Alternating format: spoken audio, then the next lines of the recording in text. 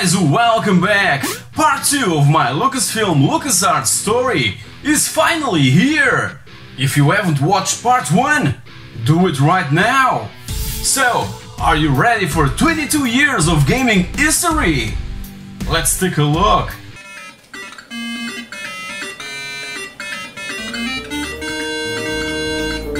The sequel to the successful Monkey Island would arrive in late 1991 with LeChuck's Revenge, one of the first titles with the brand new LucasArts logo stamped on the cover. This second adventure takes Guybrush on a quest to find a mysterious treasure, and it featured an easy mode for beginners and for magazine reviewers, as stated by the developers on the back of the box.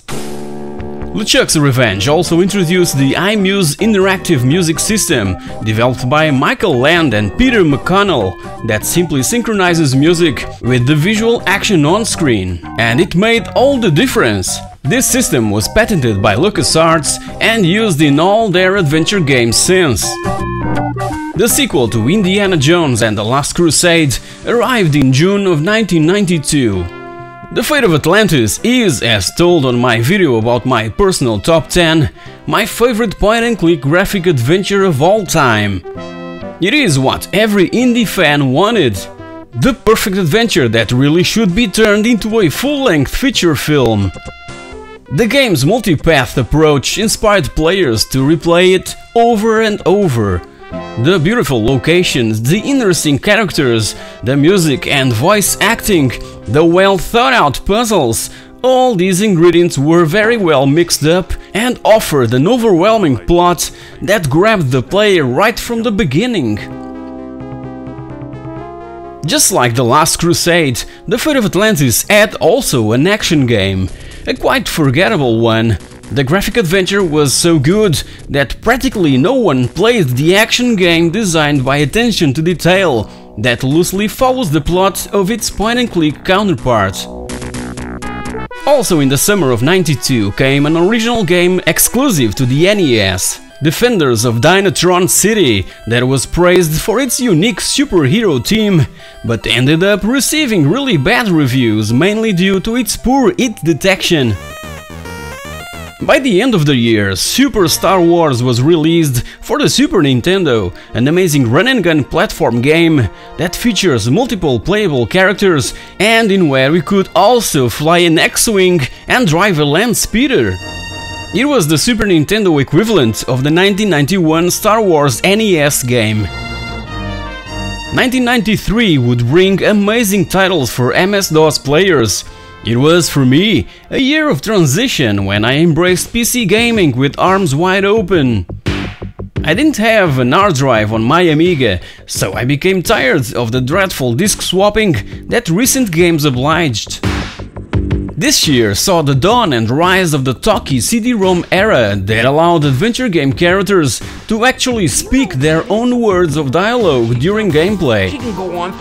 Among others, The Fate of Atlantis was re-released in an enhanced CD-ROM version that featured more than 8000 lines of dialogue.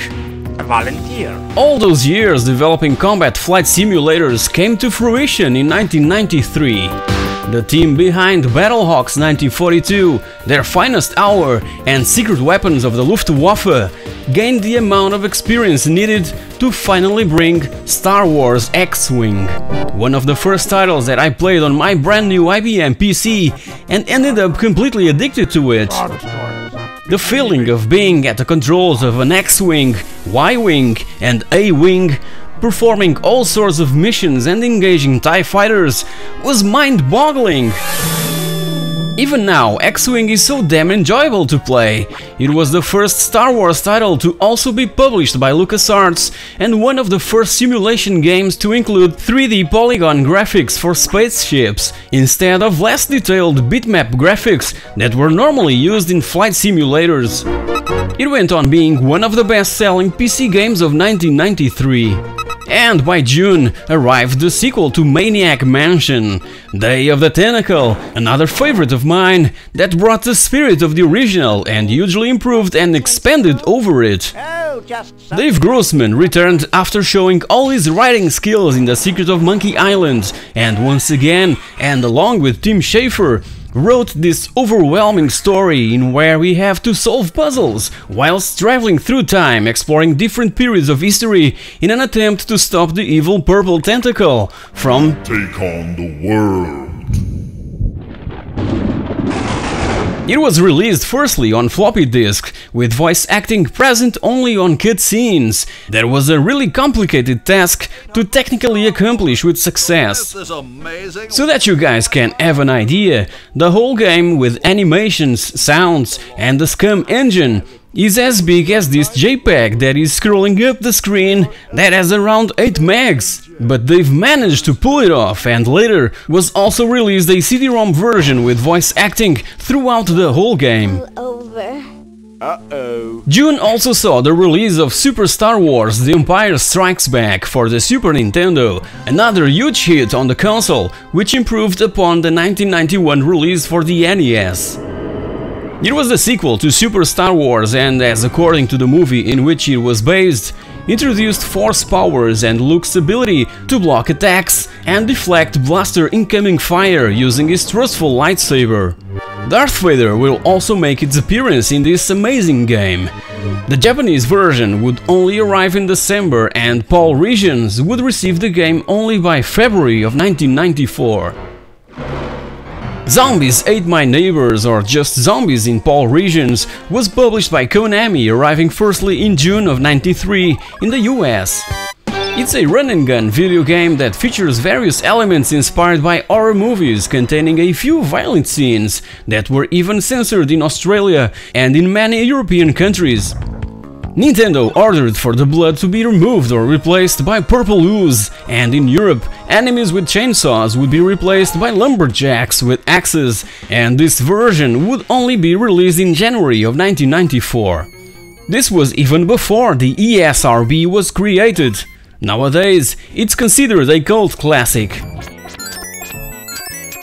By the end of 93, another Star Wars title saw the light of day, Rebel Assault that took advantage of the CD-ROM fever that seemed to have contaminated the industry. Full motion video was emerging and was seen as something from the future, and everyone wanted to have a slice of it. The PC and Mac CD-ROM, the Sega CD and the 3DO was where we could find Rebel Assault. It failed to reach the standards of other Star Wars titles, but all the CD frenzy of the time turned it into a classic, selling more than 1 million copies. And to close 1993 with a golden key, another marvelous point-and-click graphic adventure was released. Sam and Max Hit the Road. This one was based on the original 1987 comic book series by Steve Purcell himself and it takes us on a mission to find Bruno, a missing Bigfoot from a carnival. That mission is assigned to a couple of freelance police officers, a naked and hyperactive bunny named Max and a dog named Sam. Two LucasArts trademarks were present in Sam and Max, the delicious humor and, as well, their unique design rule to never let the player die. This way players didn't have to worry about constantly saving their game. 1994 was a, let's say, normal year with few notable releases. Super Star Wars Return of the Jedi was made available around June for the Super Nintendo and unlike its predecessors received a couple of bad reviews from specialized press and at the same time praise for the amazing musical score and the excellent graphics. But that didn't stop it from being awarded by Electronic Gaming Monthly as the Best Movie to Game Award of 1994 and a year later Best Game Gear title of 1995. And by July, the sequel to X-Wing arrived, Star Wars TIE Fighter. This time around we could fight for the Empire under the command of Darth Vader himself and other Imperial commanders. It features an amazing and compelling story filled with tense political intrigue that amazed critics and players alike, ending up being re-released a year later in a collector's CD-ROM edition with enhanced Super VGA graphics, cutscenes and brand new voiceovers. It was also the first Star Wars video game to take advantage of LucasArts' iMuse system to create such an amazing and involving musical environment. The summer was gone, so LucasArts would prepare a couple of snacks for the winter season and exclusive to Nintendo fans. The first was Indiana Jones' Greatest Adventures for the Super Nintendo, released in the US by October and in July of 95 in PAL regions that would feature 2D platform action based on all three films from the Indiana Jones trilogy. The job was handed over to Factor 5, best known for their Turrican games, for the most popular Commodore computers around, and also the Super NES and Genesis Mega Drive, being their first well-succeeded collaboration. Indiana Jones Greatest Adventures also had a Genesis Mega Drive complete version ready for publishing that was even reviewed on a bunch of Sega magazines, but unfortunately saw a last-minute cancellation. By November, a sort of sequel to Zombies Ate My Neighbors arrived exclusively for the Super NES, Ghoul Patrol. It was planned to also be available for Sega fans, but its development was altered and eventually cancelled. This one wasn't supposed to be related to Zombies Ate My Neighbors in any way, but in order for it to sell, they decided to call it a sequel to Zombies and use the same characters. It would eventually achieve a good commercial performance due to the positive reviews from the press.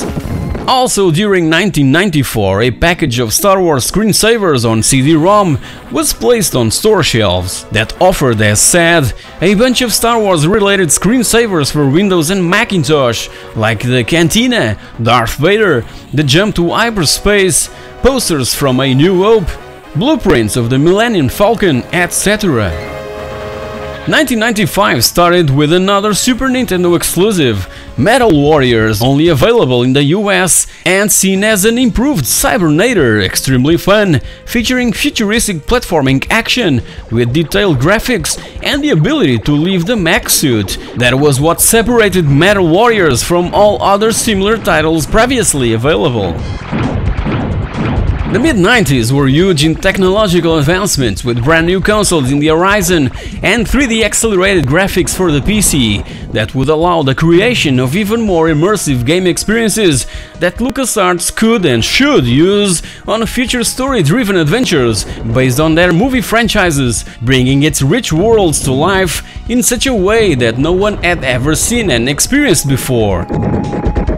While playing around with those new consoles and new hardware, LucasArts began experimenting new genres. So they came up with my favorite FPS ever made, Star Wars Dark Forces, released for the PC and Mac by February in the US and by June in Europe.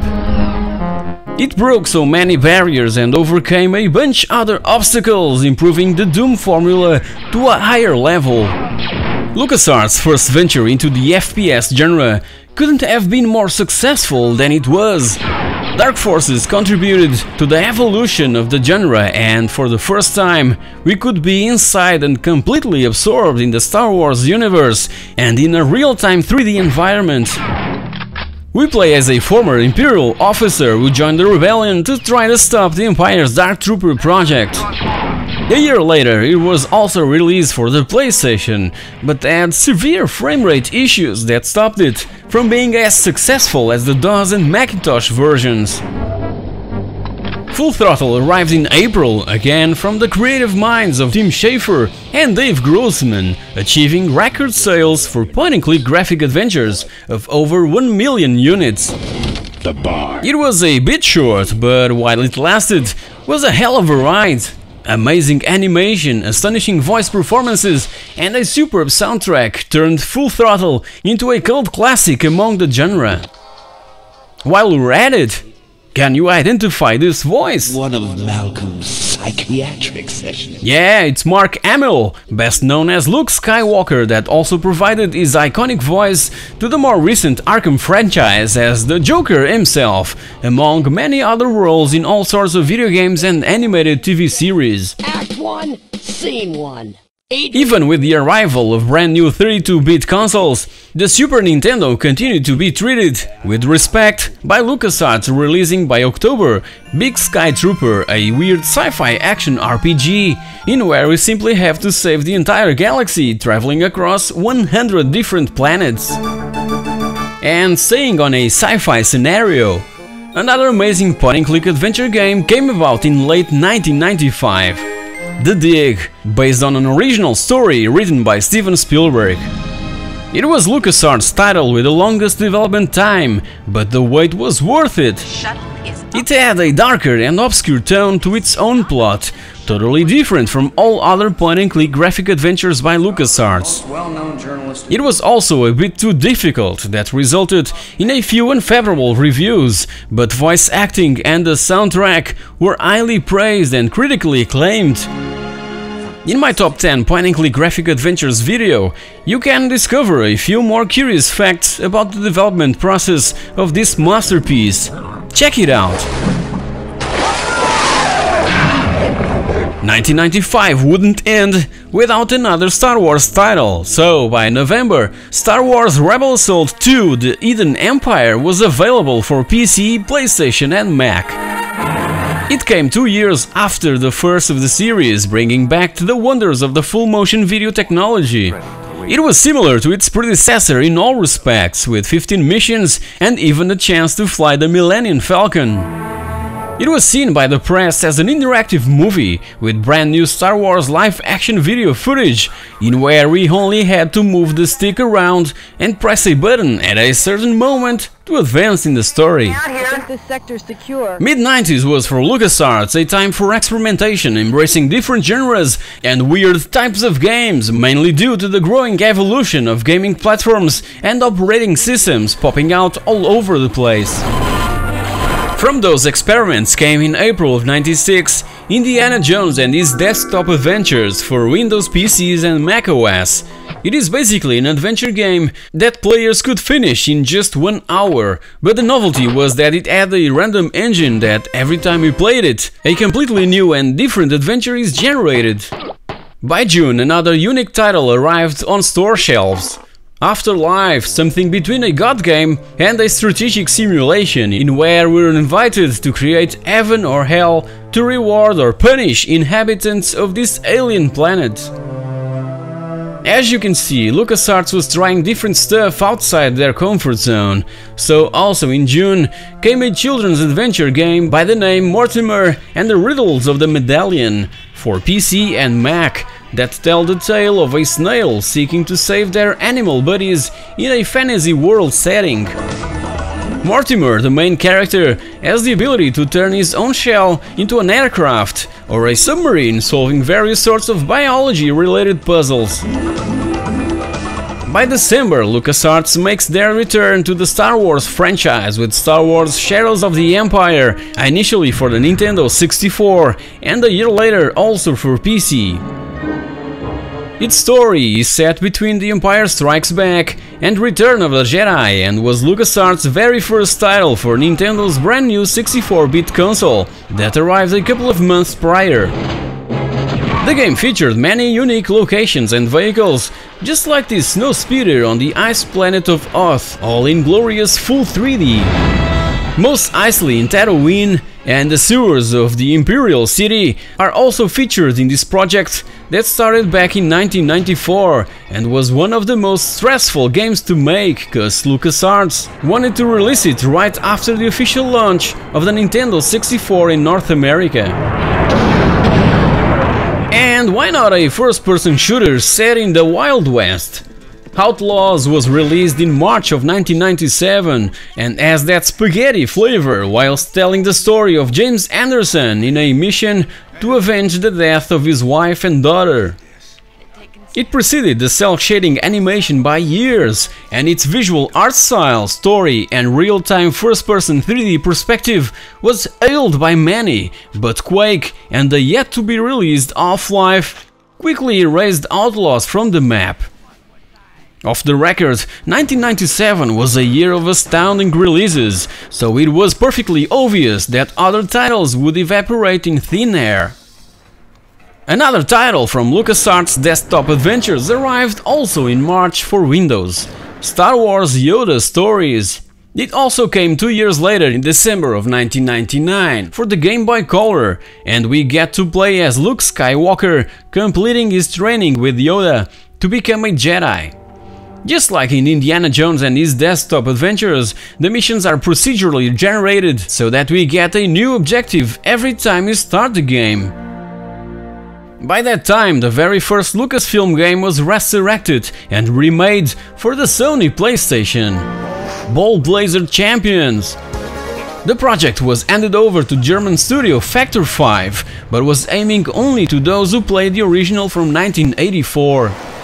In April came one of the most anticipated games, Star Wars X-Wing vs TIE Fighter, exclusive for PC, that would later also receive the Balance of Power expansion pack.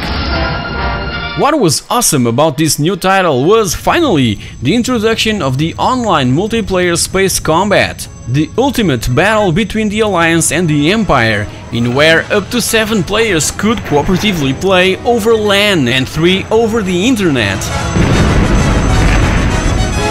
The Balance of Power expansion released later in the year, by December to be more precise, brought new ships and an extensive single-player campaign for those that had limited access to the World Wide Web.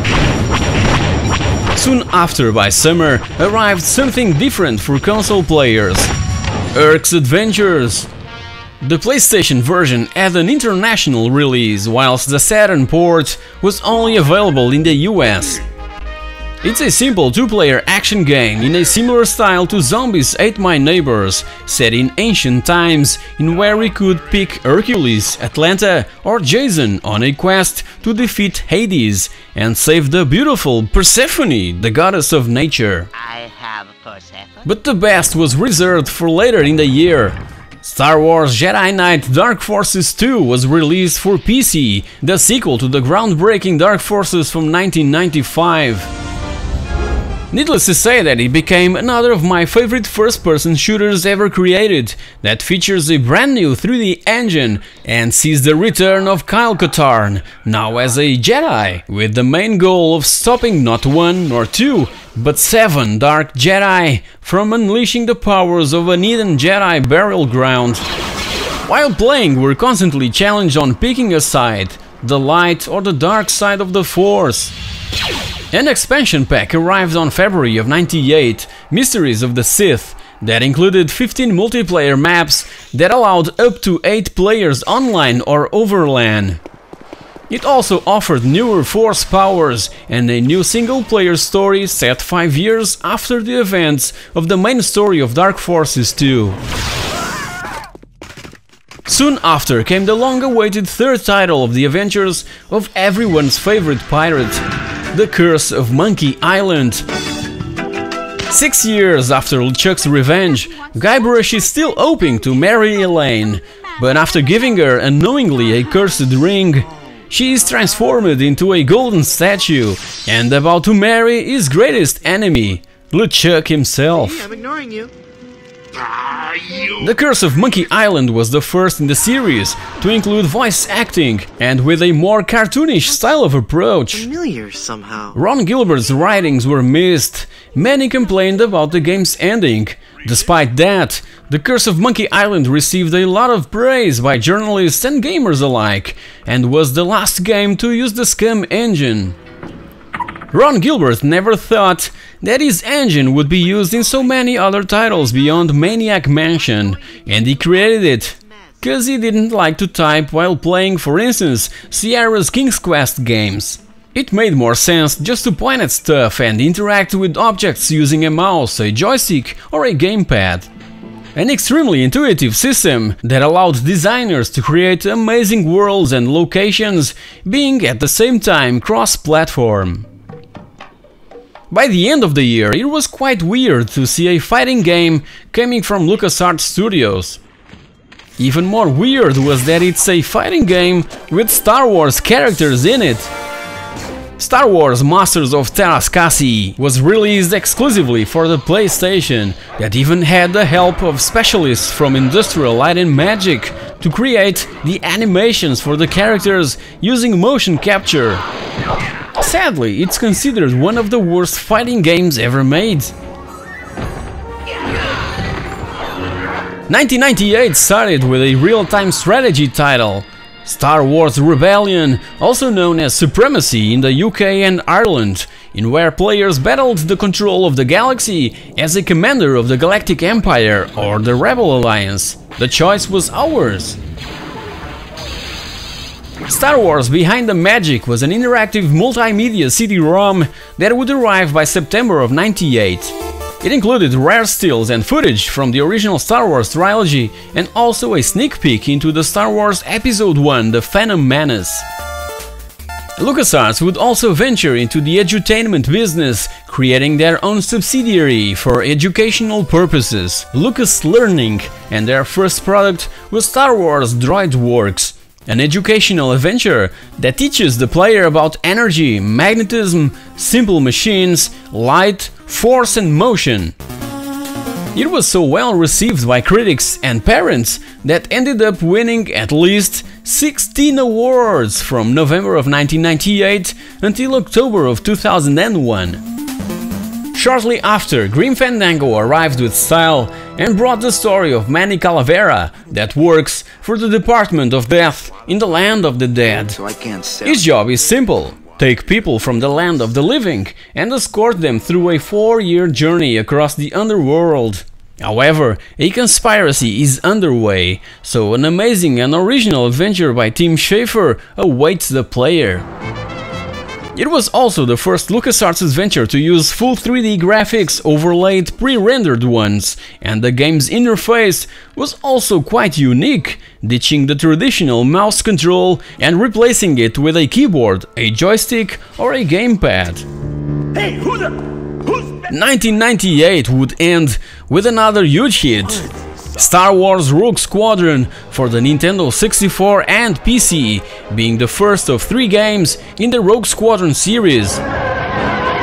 In this one, co-developed by LucasArts and Factor 5, were invited to be Luke Skywalker himself and take part in huge X-Wing dogfights throughout the galaxy as a member of the elite group known as Rogue Squadron. A spiritual presence of Shadows of the Empire is seen in the Snowspeeder level in a newer and fresher way, and it was one of the first titles to take advantage of the Nintendo 64 RAM pack, allowing 640 by 480 display resolution instead of the native 320 by 240. By that time, LucasArts were extremely pleased with their collaboration with German developer Factor 5 and used Factor 5's brand new engine for Rogue Squadron, an engine that could draw large terrain maps. That level from Shadows of the Empire, in where we controlled a snow speeder during the Battle of Hoth, was the main inspiration for Rogue Squadron. They had also to ask permission for Nintendo to use the memory expansion pack to achieve higher graphical quality, cause according to Nintendo, the expansion pack should be used solely for hardware peripherals. However, Iguana Entertainment had already used the expansion pack for that same purpose on Turok 2 Seeds of Evil, so Nintendo had to also allow Factor 5 to use it for that intent. Strange was that Lucasfilm Limited, George Lucas Movie Company, wouldn't grant access to the Star Wars library of sound effects. Instead, they provided Factor 5 with really low rate files that sounded horrible. So they ended up using sounds captured from VHS tapes and along with their own sound drivers were able to immerse the player in this incredible audio-visual experience with over 80 minutes of high quality stereo sound. In the end, the game's producers stated, It sold about 100 times better than anybody expected. Nice shot! 1999 began with one of my favorite LucasArts Star Wars titles and for me, the pinnacle of the X-Wing series. Star Wars X-Wing Alliance.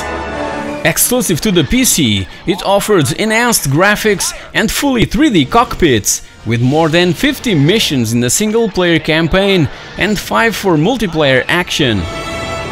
The most fondly remembered moments were the ability to hyperjump from one area to another and to fly the Millennium Falcon in the assault on the second Death Star, just like we saw in the movie Return of the Jedi. And right before the premiere and the beginning of a brand new trilogy of Star Wars movies came in April the first two titles based on the Phantom Menace. Star Wars Episode 1 The Phantom Menace and Star Wars Episode 1 Racer.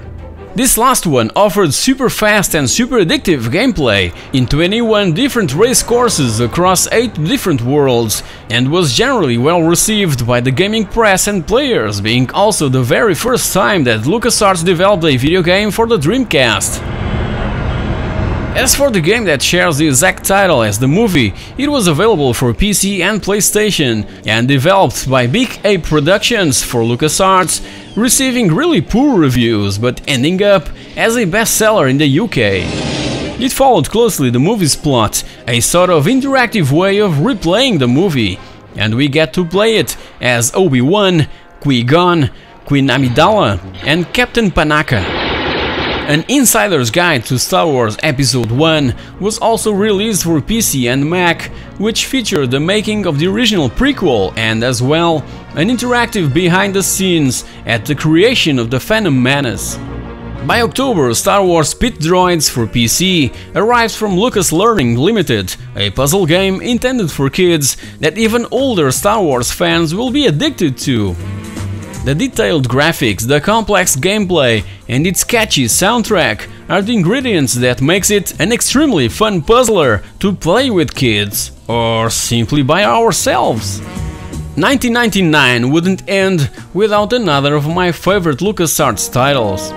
Indiana Jones and the Infernal Machine, released firstly for PC and a year later, also for the N64, but this last one was only available in the US. This time around, Indy returns in a real-time 3D action-adventure game set in 1947 during the Cold War, in where we have to race around the globe, searching for parts of the mysterious infernal machine. During that process, the Soviets will try to make sure we fail. Sophia Hapgood returns from the fate of Atlantis, not to be our partner, but as a CIA agent.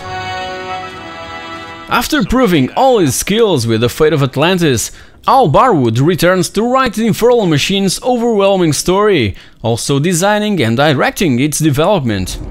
There was even a Game Boy Color version of this game, also very well received by gamers. I've already reviewed it in the past, it was one of my early videos, feel free to check that one out. 2000 saw the release of a bunch of other Star Wars related titles, mainly for consoles. Even so, the year started with a PC exclusive, Star Wars Force Commander, a 3D real-time strategy title that gave players the ability to command troops in massive battles.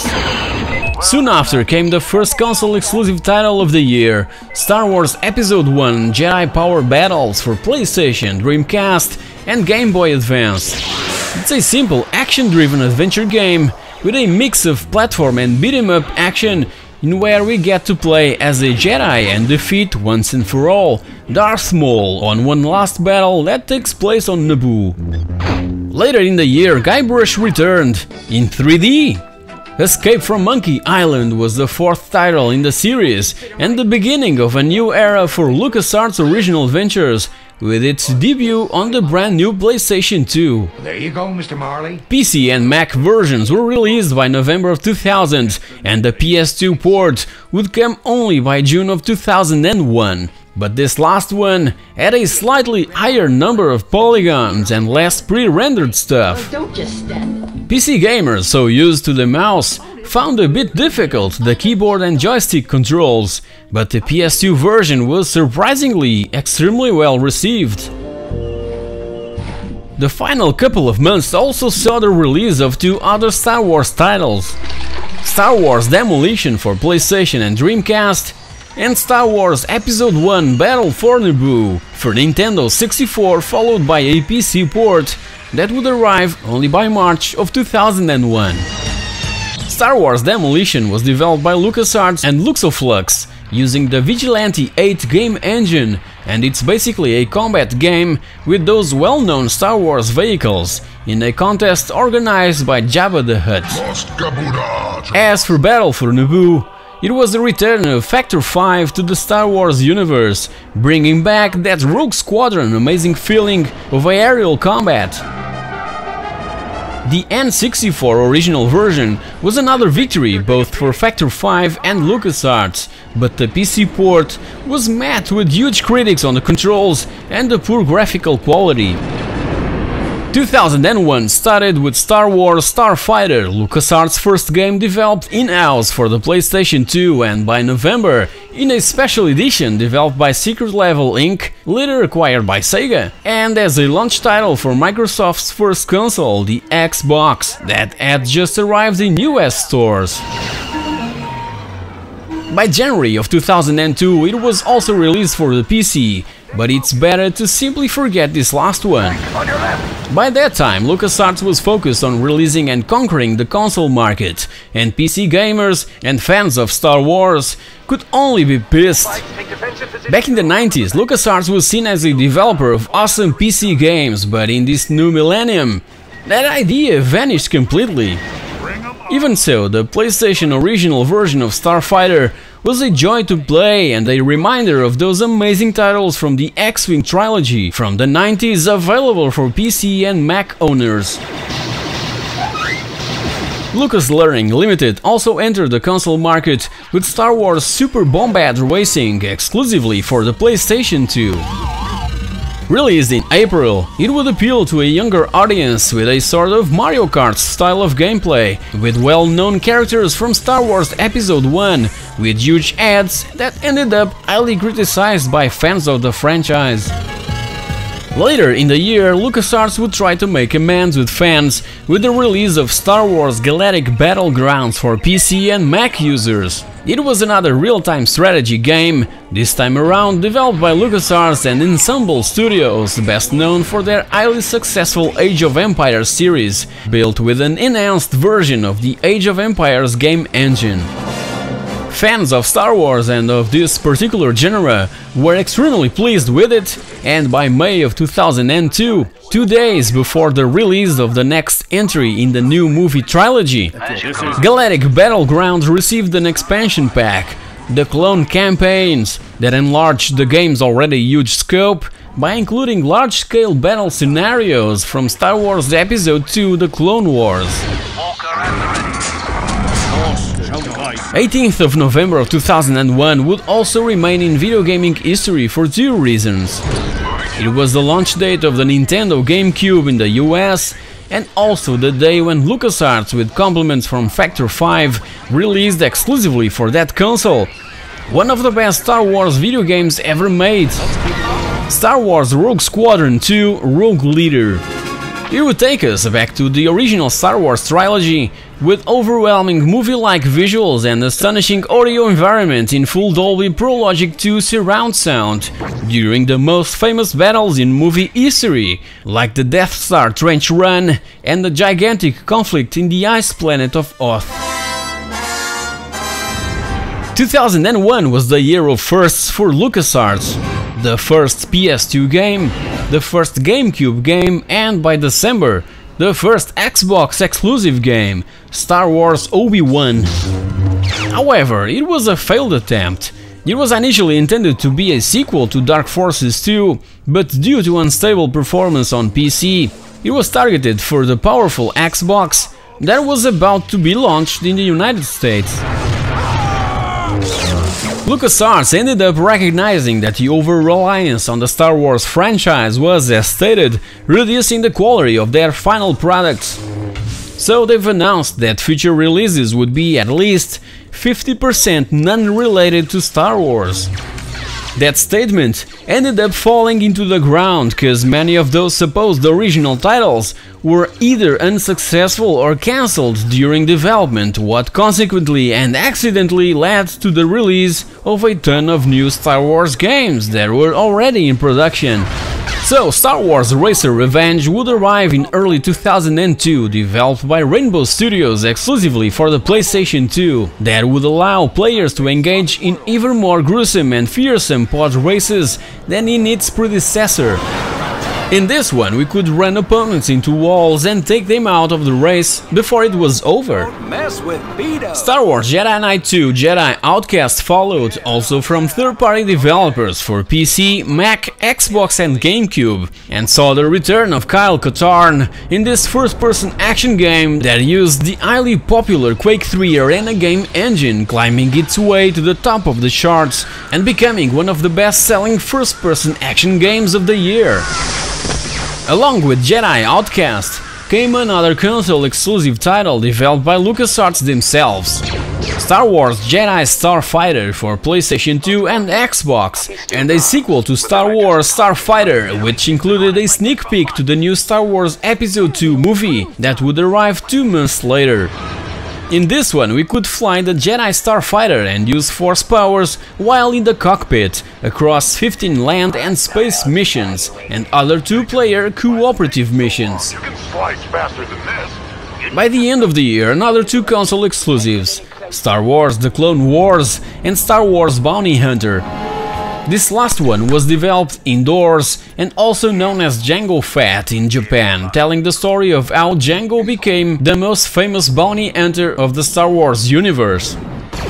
It was a title in where practically everyone at LucasArts was involved, from Industrial Light and Magic to create the game's CG cinematic sequences and Skywalker sound that provided the game's sound design. As for the Clone Wars, initially available for PS2 and GameCube, we played the role of a Jedi Knight leading the Republic army into the gigantic ground battles of the Clone Wars seen in the movie Episode 2 Attack of the Clones. For the third. To keep the flame alive, and for fans of classic LucasArts titles, a compilation CD titled The Best of LucasArts Original Soundtracks was released featuring music from a few of their greatest games like The Dig, the Monkey Island series, Grim Fandango and Outlaws. Taking a break from the Star Wars franchise, 2003 started with a new Indiana Jones adventure, Indiana Jones and the Emperor's Tomb for Xbox, PlayStation 2, PC and Mac. Developed by The Collective Inc., it takes place in 1935, right before the events of the movie Indiana Jones and the Temple of Doom, and we're searching for the tomb of China's first emperor. This last Indiana Jones adventure wasn't very welcomed by the gaming press, pointing out a few graphical and sound issues on the console versions. Personally, I've enjoyed it a lot. By June came another experiment from LucasArts and gladly only available for PS2 owners, RTX Red Rock, an action-adventure game designed by Hal Barwood, in where we have to investigate the loss of communication between Earth and Earth's colony on Mars, that is believed it was attacked by alien forces known as LEDs. Soon after came another PC blockbuster, Star Wars Galaxies and Empire Divided, that later received three expansion packs, Jump to Light Speed, Rage of the Wookiees, and Trials of Obi-Wan. It was the first Star Wars MMORPG developed by Verant Interactive and Sony Online Entertainment in where we could explore the Star Wars universe and become a Jedi, a smuggler, a ranger, a merchant or a bounty hunter. The game events were set between the end of Episode 4 A New Hope and Episode 5 The Empire Strikes Back, including once more the Battle of Hoth that is such a reference in the Star Wars fictional setting. But the biggest surprise would come after Star Wars Galaxies and from BioWare. Star Wars Knights of the Old Republic, initially for Xbox and later also for PC. This RPG is set in the Star Wars universe, 4000 years before the events depicted in Episode 1 movie, takes us through many well-known Star Wars locations, in where we interact with other characters, performing side quests that will influence our path into the light or the dark side of the Force. We can turn our character into a powerful Jedi, a merciless Sith, or something else. It received universal acclaim both for the PC and Xbox versions, winning several awards including Game of the Year 2003. Star Wars Jedi Knight Jedi Academy for PC, Mac and Xbox was also another huge hit in 2003, a first and third person shooter developed by Raven Software for home computers and Vicarious Visions for Microsoft's console and as opposed to Jedi Outcast, we immediately start with a lightsaber, something highly praised by gamers and reviewers. Soon after, the GameCube would receive the highly anticipated exclusive Star Wars Rogue Squadron 3 Rebel Strike, again developed by Factor 5, that ended up as a huge disappointment, cause players were expecting something bigger after the success of the previous title in the Rogue Squadron series. In this one, we had the ability to leave our fighter and take part in ground battles and as well enter and pilot many other vehicles in certain missions. The end of the year saw the release of three distinct titles away from those highly popular LucasArts franchises, so by October Gladius saw the light of day for the current gen consoles, the GameCube, PS2 and Xbox. It takes the player back to ancient times in this tactical RPG in where we must build a school of gladiators and take them into battle, revealing itself as a huge success on all three platforms and a breath of fresh air from LucasArts that developed Gladius themselves. By November, Secret Weapons Over Normandy landed on PC, Xbox and PlayStation 2, reviving that long-lost franchise of World War II flight simulators that offered over 20 historical aircraft to take out for a spin, 15 campaign missions and 20 optional challenge missions. Between assignments we can even upgrade our plane, an astounding achievement and a huge success that shows that LucasArts is also capable of offering players other exciting titles miles away from their supposed comfort zone. It was developed by Totally Games, a company founded by former Lucasfilm LucasArts employee Lawrence Holland that developed games almost exclusively for LucasArts for over a decade and responsible for the titles from the Secret Weapons and X-Wing series. Another success came in December of 2003 with Armed and Dangerous for Xbox and PC, a first and third person shooter developed by Planet Moon Studios that featured several unusual characters, weapons and lots of humor being both versions of the game extremely well received by the press and gamers. It was soon followed by an original chess-like strategy game developed by the Collective Inc., Wrath Unleashed, released in early 2004, involving gods and the four elements in an epic battle. However, the best was reserved for later in the year with the release of Star Wars Battlefront, developed by Pandemic Studios initially for PC, Xbox and PlayStation 2, to coincide with the release of the original trilogy on DVD. It's a first and third person shooter played basically as a conquest game, and multiplayer over the internet was huge and something quite remarkable, with 64 players simultaneously on both the PC and Mac versions with also more than 25 usable vehicles.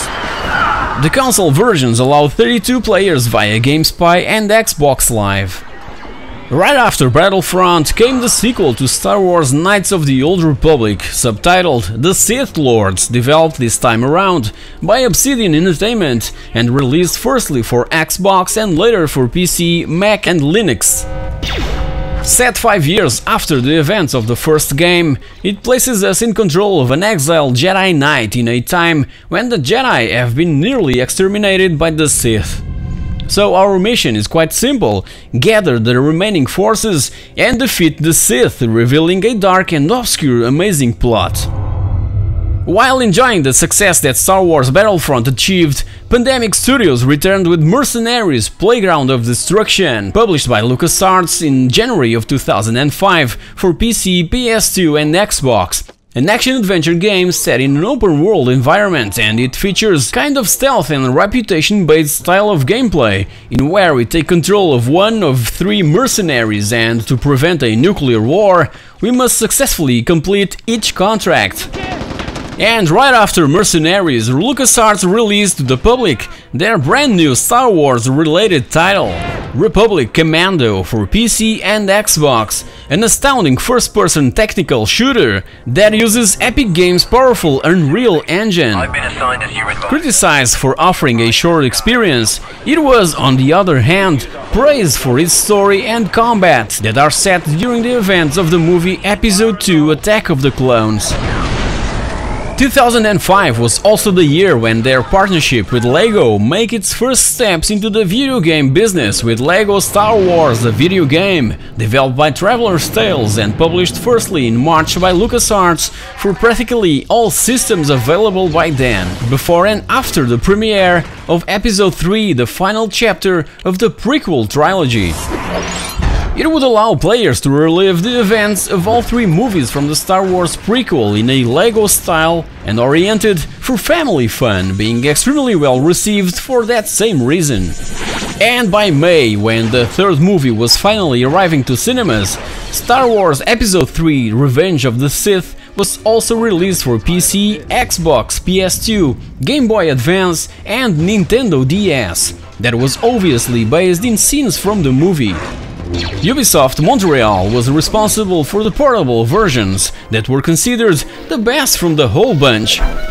The Collective Inc. developed the other console releases that even had the help of the stunt coordinator and lightsaber trainer from all the three prequel movies and even appears in the game as a boss. By October arrived the moment that fans were eagerly waiting, the release of Star Wars Battlefront 2 for PC, Xbox, PS2 and even the PSP.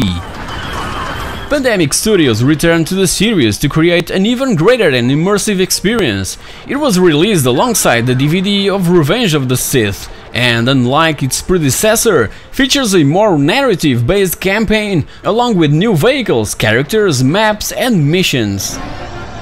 During these last two years, LucasArts went through a profound internal change under the tight belt of Jim Ward, appointed president of LucasArts back in April of 2004 that had shown all his skills marketing the movies Phantom Menace and Attack of the Clones.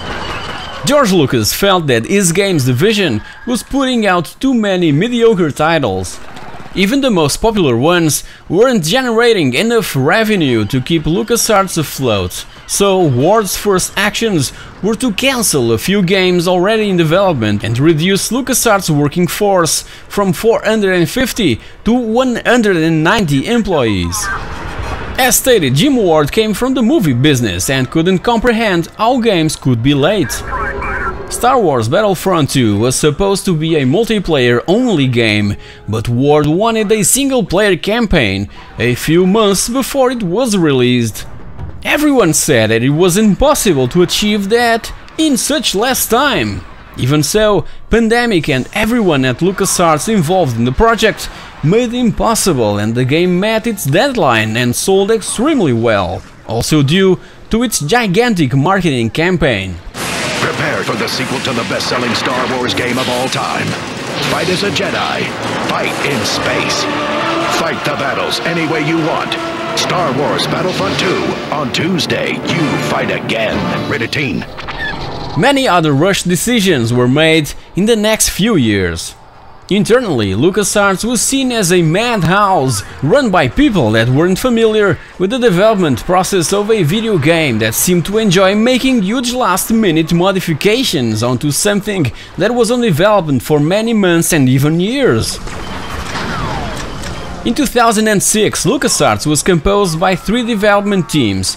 Games came from third-party developers like Petroglyph Games that developed Star Wars Empire at War and its expansion pack Forces of Corruption. Traveller's Tales brought LEGO Star Wars 2 the original trilogy. And from Frontier Developments, the makers of Roller Coaster Tycoon 3, came the chance of managing another theme park in Thrillville, a game oriented mostly for a younger audience. As said, by 2006, LucasArts was composed by three development teams, one focused on a future Indiana Jones project, another on The Force Unleashed, and the other just standing by, seeing all their concepts being crushed. Star Wars Rogue Squadron Trilogy, exclusive for the Xbox. Star Wars Imperial Commando, a sequel to Republic Commando. Star Wars Knights of the Old Republic 3. Star Wars Jedi Knight 3 Brink of Darkness and Jedi Master. Star Wars Smuggler. Star Wars Rebel Warrior. Star Wars Darth Maul. Star Wars Proteus. Star Wars First Assault. Rogue Squadron X-Wing vs TIE Fighter, an exclusive for the Xbox 360, and Star Wars Episode 7 Shadows of the Sith, all these internal projects were cancelled during Jim Ward's leadership. Besides those, there was Star Wars Battlefront 3.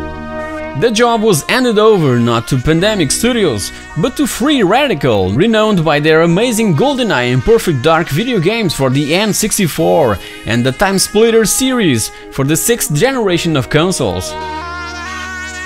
It was on development for two years and looking really good, with the premise of taking the fight from the ground to the air and space and scheduled to be released in 2008. By that time, by February, Jim Ward stepped down as president of LucasArts, stating personal reasons, and was replaced for a couple of months by Howard Rothman.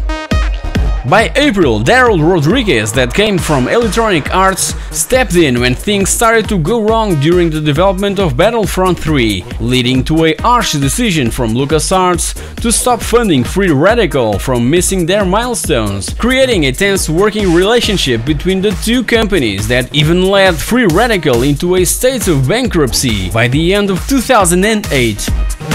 Even so, the Battlefront 3 project didn't die after that incident. LucasArts teamed up with developer Slant 6 Games, known for a few SOCOM titles, to create a new Star Wars Battlefront 3 from scratch, but it would also crash and burn, being vaporized in thin air. 2007 was another weak year for LucasArts, with only two published games from, again, third-party developers a sequel to Thrillville subtitled Off the Rails from Frontier Developments, like its predecessor, and a PSP exclusive release from Rebellion Developments named Star Wars Battlefront Renegade Squadron. It wasn't until 2008 that LucasArts saw finally an internal effort being praised with more than 7 million copies sold, becoming the fastest selling Star Wars game to that moment. Star Wars The Force Unleashed was the result of a combination of four concepts that were scrapped around 2005. Even so, it was supposed to be released the year before, along with a new Indiana Jones title. The problem was that LucasArts couldn't find enough programmers that knew how to develop games for the new PlayStation 3. Everyone knows that Gabe Newell from Valve publicly stated that it was a waste of time to develop games for the PS3 and that Team Ico went through hell to put The Last Guardian together while developing it for that system. And as a Sony partner, they had all the ingredients to pull it off. In consequence, half of the team working on that Indiana Jones project was moved to The Force Unleashed to get the job done for a 2007 release, pushing Indy to a 2008 release. But even so, they ran into problems going beyond 2007. By that time, when all teams were starting to join forces to create the most spectacular Indiana Jones video game ever, Naughty Dog released Uncharted that was all that the new Dr. Jones game was meant to be. Everyone at LucasArts just stood petrified looking at Nathan Drake and thinking that they've missed completely the chance of making something great. In my final hour. The fate of Indy's new game will be told later on.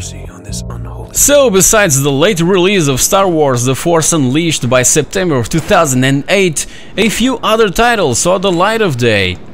LEGO Indiana Jones The Original Adventures developed by Traveller's Tales and TT Fusion for practically every gaming system available, being extremely well received. Star Wars The Clone Wars Jedi Alliance developed by LucasArts as a Nintendo DS exclusive. Star Wars The Clone Wars Lightsaber Duels, a Wii exclusive title that takes advantage of the Wii Remote to simulate lightsaber control and a nunchuck to use force powers. And Fracture, a title developed by Day One Studios that was designed as a first-person shooter since the beginning and when it was way far into development, the executives at LucasArts decided that it should be turned into a third-person shooter. Needless to say that making all those changes so far in development ended up destroying Fracture. By 2009, works on the sequel to The Force Unleashed was underway and the development team was pushed to complete it within a year. Between that, Star Wars The Clone Wars Republic Heroes was released for all systems, revealing itself as a huge flop with some frustrating platforming elements and terrible graphics. Even so, the revival of The Secret of Monkey Island in a special edition grabbed a few awards in 2009 and was highly praised by gamers that grew up with the original. This remaster includes an updated hand-drawn art style for higher resolutions with huge improvements in animation and sound, and we can even at any moment switch between the original game and the remastered version in real time. Two years after the release of Uncharted, Indiana Jones and the Staff of Kings was finally in store shelves in a completely unrecognizable way and the HD versions were nowhere to be seen. These were cancelled due to obvious reasons and only the Wii, PS2, PSP and Nintendo DS versions saw the light of day. The only cool thing about this title is the inclusion of Indiana Jones and the Fate of Atlantis in the Wii version as an unlockable extra. Not very welcomed either was LEGO Indiana Jones 2 The Adventure Continues, again from Traveller's Tales and TT Fusion, probably because half of the game was based in the worst movie of the franchise, Indiana Jones and the Kingdom of the Crystal Skull. Late 2009 also saw the release of Lucidity, a puzzle platformer available through Steam and Xbox Live Arcade, an original LucasArts title with amazing art style, but short on its engagement with the player. Rebellion Developments also returned in 2009 with their new PSP and DS entry on the Star Wars universe with the bland Battlefront Elite Squadron. LucasArts president left in May of 2010, being temporarily replaced by Jerry Bowerman from Lucasfilm Board of Directors. Later in the year and meeting the tight deadline imposed by LucasArts executives, Star Wars The Force Unleashed 2 was released surprisingly having its best version on the Wii. The HD versions looked really poor, like if they were rushed through development, completely failing to its high expectations. This led to layoffs within the company and it was time for Paul Meegan to step in. By that time, BioWare was already working on a successor to Knights of the Old Republic 2 The Sith Lords, a MMORPG simply named Star Wars The Old Republic that is gossiped around the web that it might have cost near 200 million dollars to make, with every cent coming from BioWare's and Electronic Arts pockets, this last one working as its publisher. LucasArts made some pretty stupid calls in recent past, but the BioWare deal was the smartest move LucasArts ever made.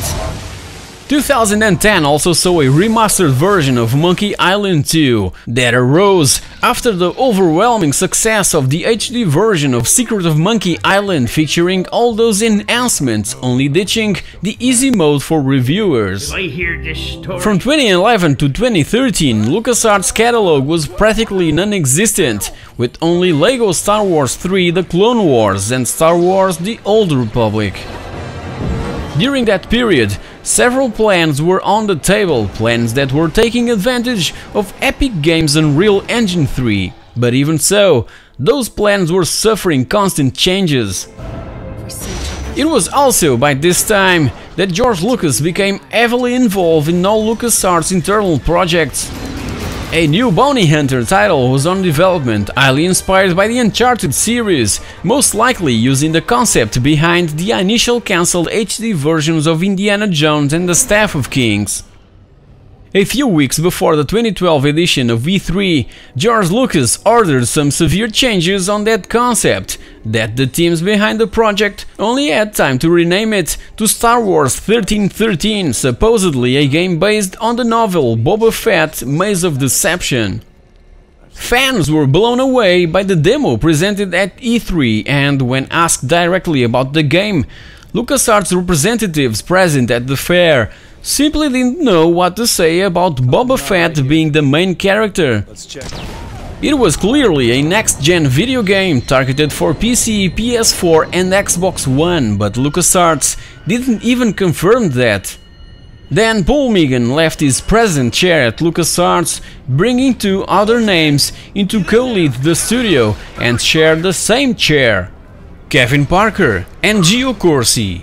Then silence struck upon LucasArts and Lucasfilm Limited, and by October 30 of 2012, Disney announced that it had acquired Lucasfilm and LucasArts, revealing also that three new movies were in the horizon. I am proud to announce the Walt Disney Company is acquiring Lucasfilm, the global entertainment company founded by George Lucas and the home of the legendary Star Wars franchise. Bob Iger also stated that Disney wanted to focus on social and mobile experiences over console titles, so LucasArts was foreseeing a bright new future in the hands of Disney.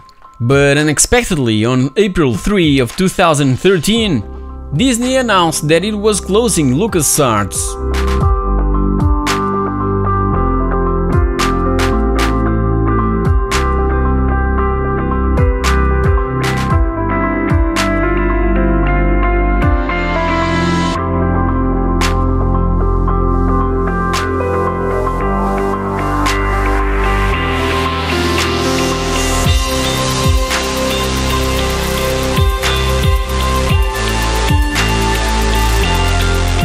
The last game released by LucasArts as a subsidiary of an independent Lucasfilm was Kinect Star Wars.